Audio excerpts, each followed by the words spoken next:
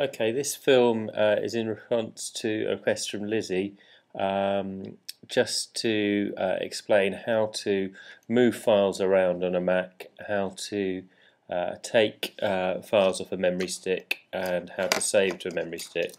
So, um, right, let's start with memory sticks. Um, if you plug them uh, into a USB port, and uh, you'll notice that an icon will come onto the desktop. In this case, um, you'll see I've actually named my memory stick uh, just because sometimes you use more than one uh, at the same time. Um, so uh, that is how you recognize a memory stick is on. Um, to open it or to get a file from it, just double click on the memory stick and it will spring into action and you can then see all the folders and images that are on it.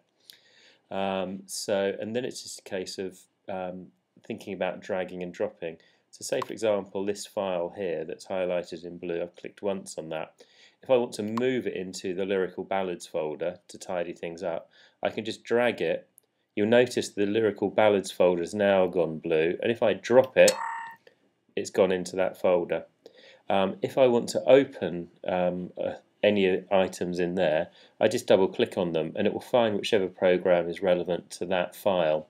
So uh, let's just pick out, this is an, some advice from the exam examining board. So if I double click on that and you'll see that it will open. Okay, it's all pretty straightforward. Um, let's just close that. Uh, another question was how to um, save stuff to um, a uh, memory stick. So there's lots of different ways that you can do this. So if you imagine, let's pick a file at random, uh, let's see, something in the documents folder.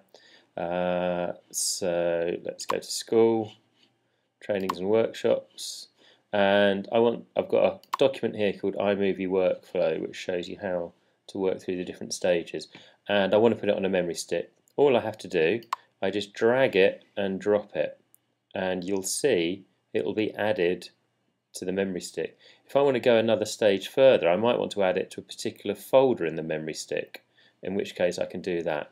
Right, let's just uh, click off and ignore that, and we'll go back to that. So, we want to locate a particular file that we've got on the laptop, and we want to put it on the memory stick. So, if we go a couple of steps back, uh, let's say, for example, uh, we want to get a different file. So I can just follow the different links. So I can go to school, maybe something to do with the Deaf Support Centre, and uh, there's an extremely uh, dull document, the Greenwich um, Young Person's Transition, and I want to put that on my memory stick. So I click on it and I keep my finger click down, I drag it across, put it onto the memory stick, and if I just let go, you'll see that it's gone in there now.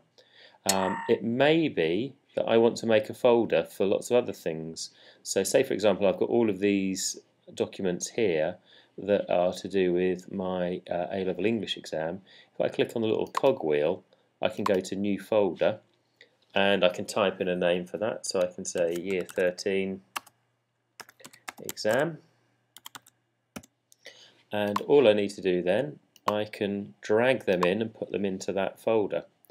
Now I've got six there, it's going to be a little bit laborious to do that one by one. If I click on the first one, hold down the shift button and click on the last one, you'll see it will do all the ones between the first and the last.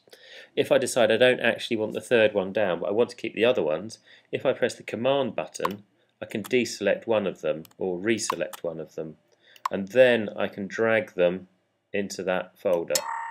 So you can see it's beginning to tidy things up a little bit. So I hope that begins to answer some of the questions that you've got. If it doesn't, then just send me an email and um, I'll see whether we can make a different film.